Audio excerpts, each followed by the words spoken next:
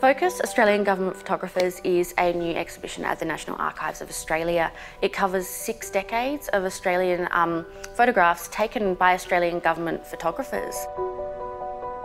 The government photographers really came out of the formation of the Department of Information, which was in 1939.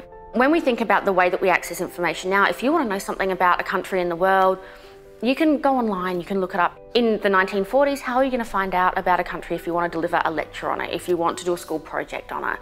And the Department of Information and then the News and Information Bureau had offices all around the world and people would write to them and, and ask and, and get them to follow up on these questions.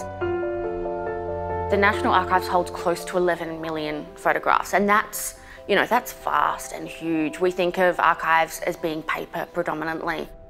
In all of our exhibitions, we use photographs as illustrations essentially, but you keep coming up with these names again and again. And I really wanted to spend time with that collection and build up the knowledge we had about who created them.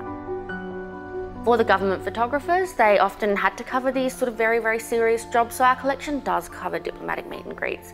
It does cover you know, handshaking and election days and things like that. But the government photographers, they were there full time. That wasn't the only job that they had. So they were also tasked with building a pictorial library of Australia. So one example is under the heading historical relics, you have buildings, you have boats, you have locations, and they're broken down into these tiny sort of subsections. So the government photographer's brief ended up being really, really broad. When you're building an exhibition, you want to visit it, have a nice experience and not feel overwhelmed. So I started focusing on the departments that created government media. And from there, I started looking at um, their diaries and their negative registers and pulling the names out. So with our early photographs, they're quite well attributed, but the later in the collection that you get, and particularly once you sort of hit the 70s, the names start to fall off.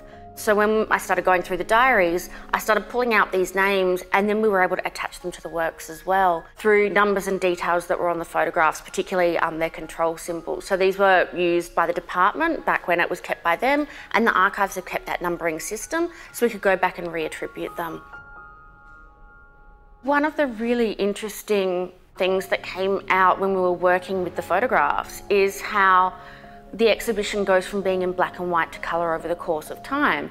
But then you can also see, for example, um, there's a photograph from 1970s King's Cross, and the only thing that's recognisable today is the Coca-Cola sign, which has been through multiple iterations. But you can really see the changing face of Australia. We also have the photographer Mervyn Bishop, who was the first First Nations government photographer, and there you really see someone who's getting out in the community and capturing First Nations people through that perspective as well, which I think is really significant. I really wanted someone to come in and look at a photo and see something of their own experience and also maybe reflect on how those experiences have changed over time. The photographs take you from the 1940s up to the 1990s, so it isn't, you know, just a single generation of photographs. There are multiple generations that can see themselves in this exhibition think one of the reasons I proposed it was because I wanted to tell that story and I wanted to recognise the people behind the lens. With government photographers, they're rarely in front of the camera, they're always behind it. So it was really um, important to me to bring their stories out.